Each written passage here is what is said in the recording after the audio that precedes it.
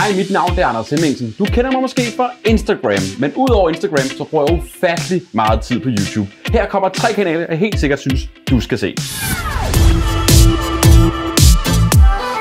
Den første kanal er PewDiePie. Before we get going on this video, here's me. Hello. Man kan ikke komme uden om PewDiePie, hvis man er på YouTube. Han er verdens største YouTuber.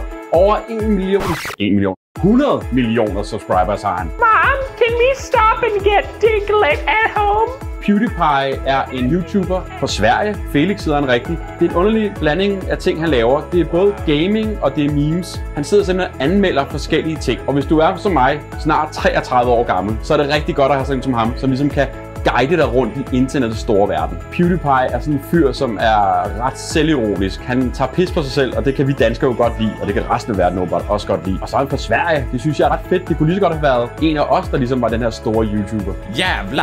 Which basically means fuck. Jeg tror, PewDiePie egentlig bare, ligesom mig selv, uden sammenligning overhovedet, startede bare i det små og, og lagde en video på YouTube af sig selv, helt ung svensker, og så begynder han at ligesom bare kigge ind i kameraet, ligesom jeg gør nu, og fortælle om, hvad han lavede til dagligt. Oh my god, what the hell?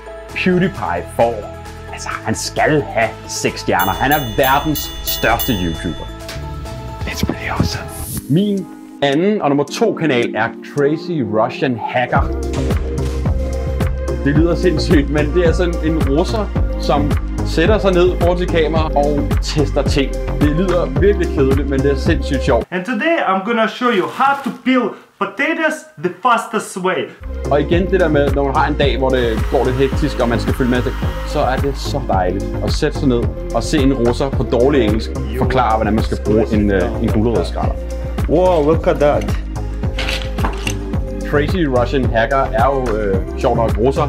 Jeg har fulgt ham ret længe, og han er sådan blevet bedre og bedre til engelsk, men han må ikke blive for god, for det er super charmerende. Han er sådan ret dårlig til at udtale de her engelske ord, og det er en kæmpe charme hos ham. To do corn on the cup gadgets. Let's see. Der er jo så mange dumme ting derinde. Altså, det dummeste har nok været en majskolbe skralder. Altså ligesom, hvordan du får majsen hurtigst væk fra, fra kolben. Det, det er simpelthen så fangende på en eller anden underlig måde. Crazy Russian Hacker. Han får fire stjerner. Det kan blive lidt kedeligt en gang imellem. Det er bare det samme køkkenredskab, han anmelder, men fire stjerner herfra. Thumbs up in this video and I'll see you next time. Min tredje anbefaling er en kanal, der hedder Daily Dose of Internet. This cat doesn't have any eyes, but that won't stop it from playing fetch with its owner. Det er en amerikaner, som simpelthen bare på to og et halvt minut, tror jeg det er, gennemgår alle de mest virale videoer i verden. Det er alt muligt random, og han har den mest monotone stemme i hele verden. You can instantly change the mood of your dog just by using fake eyebrows. Altså, det er så tørt, men videoerne og ham i en sammenblanding skaber en eller anden sjov balance, så det er sindssygt interessant og lærerigt at se. The US Navy has a program where they train dolphins to help look for underwater mines. Daily Dose of Internet får 5 stjerner. Det er en vild kanal, og man bliver klog samtidig med, at man ser det. Hvad kan det blive bedre? I really hope you enjoyed, and I'll see you guys again very, very soon. Det var simpelthen mine tre kanaler, som jeg helt sikkert synes, du burde se. Jeg håber, du kan bruge dem til noget og bruge tiden fornuftigt på YouTube. Det kan være, du bliver den nye PewDiePie. Hvem ved?